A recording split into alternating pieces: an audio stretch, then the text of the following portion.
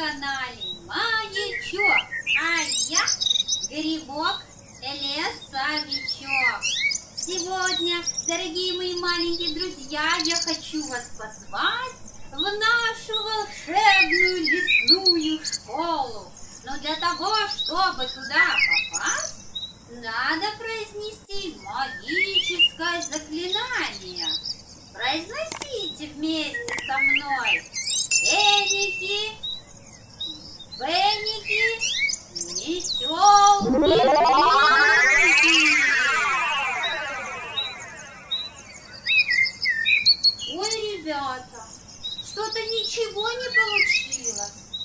Произносите вместе со мной погромче. Эй.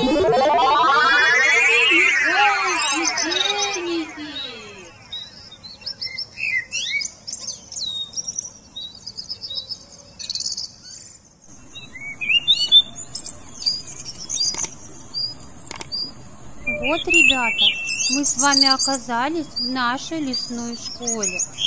Сегодня я хочу вам рассказать русскую народную сказку, а вот какую, догадайтесь сами. Возле леса на опушке трое их живет в избушке, там три стула и три кружки. Угадайте без подсказки, кто герои этой сказки.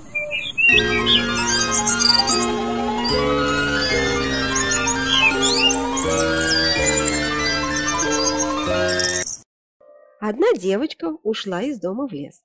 В лесу она заблудилась и стала искать дорогу домой. Да не нашла, а пришла в лесу к домику. Дверь была отворена. Она посмотрела в дверь, видит, в домике никого нету. И вошла. В домике этом жили три медведя. Один медведь был отец, звали его Михаил Иванович. Он был большой и лохматый. Другой была медведица. Она была поменьше. Звали ее Настасья Петровна. Третий был маленький медвежонок, и звали его Мишутка. Медведей не было дома. Они ушли гулять по лесу. В домике было две комнаты. Одна столовая, другая спальня. Девочка вошла в столовую и увидела на столе три чашки с похлебкой. Первая чашка, очень большая, была Михаила Ивановичева. Вторая чашка, поменьше, была Анастасия Петровнина. Третья, синенькая чашечка, была Мишуткина. После каждой чашки лежала ложка. Большая, средняя и маленькая.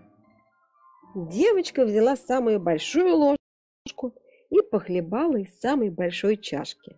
Потом взяла среднюю ложку и похлебала из средней чашки. Потом взяла маленькую ложечку и похлебала из синенькой чашечки. И Мишуткина похлебка ей показалась лучше всех. Девочка захотела сесть и видит, у стола три стула. Один большой, Михаила Ивановичев, другой поменьше, Настасья Петровнин, и третий маленький, с синенькой подушечкой, Мишутки. Она полезла на большой стул и упала. Потом села на средний стул, на нем было неловко. Потом села на маленький стульчик и засмеялась. Так было хорошо. Она взяла синенькую чашечку на колени и стала есть. Поела всю похлебку и стала качаться на стуле. Стульчик проломился, и она упала на пол. Она встала, подняла стульчик и пошла в другую горницу. Там стояли три кровати. Одна большая, Михаила Иванычева, другая средняя, Настасья Петровнина, третья маленькая, Мишенькина. Девочка легла в большую, ей было слишком просторно.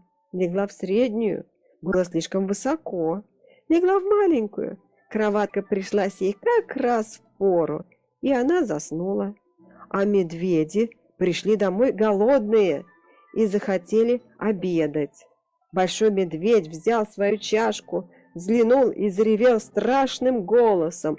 «Кто хлебал в моей чашке?»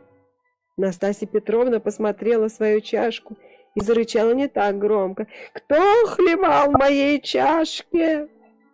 А Мишутка увидел свою пустую чашечку и запищал тонким голосом. «Кто хлебал в моей чашке и все выхлебал?» Михайло Иванович взглянул на свой стул и зарычал страшным голосом. «Кто сидел на моем стуле и сдвинул его с места?» Настасья Петровна взглянула на свой стул и зарычала не так громко. «Кто сидел на моем стуле и сдвинул его с места?» Мишутка взглянул на свой сломанный стульчик и пропищал. «Кто сидел на моем стуле и сломал его?» Медведи пришли в другую горницу. «Кто ложился в мою постель и смял ее?» Заревел Михаил Иванович страшным голосом. «Кто ложился в мою постель и смял ее?» Зарычала Настасья Петровна не так громко. А Мишенька поставил скамеечку, полез на свою кроватку и запищал тонким голосом. «Кто ложился в мою постель?» И вдруг он увидел девочку и завизжал так, как будто его режут. «Вот она! Держи, держи! Вот она! Ай-яй-яй! Держи!» Он хотел ее укусить. Девочка открыла глаза, увидела медведей и бросилась к окну. Окно было открыто. Она выскочила в окно и убежала. И медведи не догнали ее.